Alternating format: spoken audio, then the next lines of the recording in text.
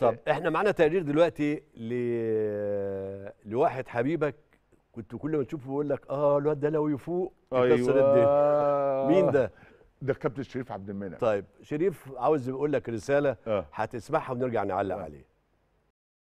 مساء الخير كابتن مصطفى عبده آه، وحشني وبرنامج جميل جدا وبتمتعنا وبتمتعنا بضيوفك الجمال اللي بتفكرنا بيهم اللي عايشين معانا دايما وابدا في ذهننا و- أو عايشين معانا طبعا آه، في اذهاننا جوه النادي كمان وبس لما يبقى مدحت آه، رمضان آه، دي حالة خاصة بالنسبة لي أنا. حالة خاصة بالنسبة لي لأن أنا أول لاعب آه، دخلت معاه معسكر آه، منتخب ناشئين وكان معايا في آه، أوضة اللبس بتاعتي أو غرفة الملابس كان هو مدحت رمضان. أول آه، حد وكان كابتن عليا في آه، في منتخب ناشئين يعني. فكان هو قبل كده متمرس عني وبيجي وأنا دخلت عليهم فكان حظي مدحت رمضان. مدحت رمضان آه، خفة ظل رهيبة آه، لعيب آه، قوي جدا بيتمتع بثقة كبيرة للعيبة بيحبوا اللعيبة اللي تلعب معاه كلها. عنده روح جميلة جدا وأنت تعلم ذلك كابتن مصطفى من العشرة الكبيرة اللي إحنا كنا فيها. لما حصل إنه وصل للنادي الأهلي وبقى موجود بينا ما كانش فيه غربة. الراجل اندمج في وسطينا بسرعة وفي كل اللعيبة. نحس إن هو من أول ما دخل إنه بقى له بتاع 10 سنين أو حاجة موجود في بين جدران النادي الأهلي يعني. الراجل دخل على أوضة اللبس كأنه عايش هنا بقى له فترة كبيرة قوي مدحت رمضان من اللعيبة اللي طبقت أول آه، back left يطلع يبقى ال back left المهاجم. يعني ال back left اللي هو يعني لازم تفتح له المسافة.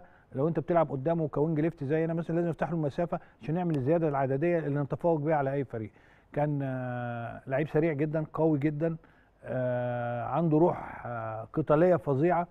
ضحك على بونجاك آه، وعشان ضحك شوية ضحك على بونجاك لما كنا رايحين دورة سبليت وأقنع مستر بونجاك آه، في منتخب مصر إن هو يلعبه آه، stopper. يعني بدل مصطفى يونس وبدل إبراهيم يوسف. يعني كانوا الاثنين دول صعب قوي إنك أنت يعني يلعب back left يلعب back right يعمل أي حاجة. هو إنما إنه يلعب في الحتة دي قدر يقنع آه، الراجل المجري بورجاك آه، اللي كان موجود ماسك المنتخب وطلع لعب معانا هذه الدورة ولعب بتفوق عالي بس كانت فرقه يوغوسلافيا قوية علينا شوية. فمدحت رمضان آه، مهما أنا قلت فيه هتبقى يعني مش عايز أقول لك الأخ وال- دايما يسأل عليا ونسأل على بعض. وأهو يعني أنت قاعد مع نجم يا كابتن مصطفى آه، أنت كنت أقرب الناس ليه وخفة ظله وخفة دمه. مش هجيب لك بقى ال- الحاجات السفريات اللي إحنا كنا فيها واللي بيعملوا مع خالد جد الله والتحديات والوقت اللي كنا بن بيهونوا علينا مدحت رمضان في كل بطولات افريقيا في السفريات يعني. آه، منور يا كابتن مدحت وكابتن مصطفى.